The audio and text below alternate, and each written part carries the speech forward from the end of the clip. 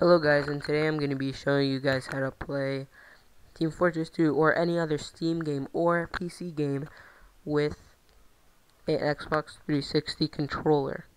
So first you want to go through the settings, you're going to go to keyboard, then once you're at keyboard you're going to want to go to advanced, then you're going to go to enable developer console, press OK and then you're going to press apply and then okay and then you're going to want to press the thing called tilde or squiggly thing. Then you're going to want to type in EXEC then space. Then you'll see Xbox controller and the Xbox controller Linux.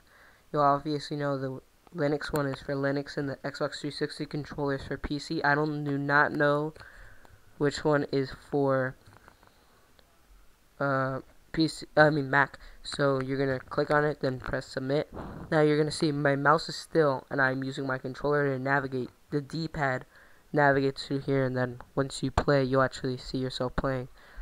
And that's pretty much it for this video, guys. And um, peace. I don't know what to hit.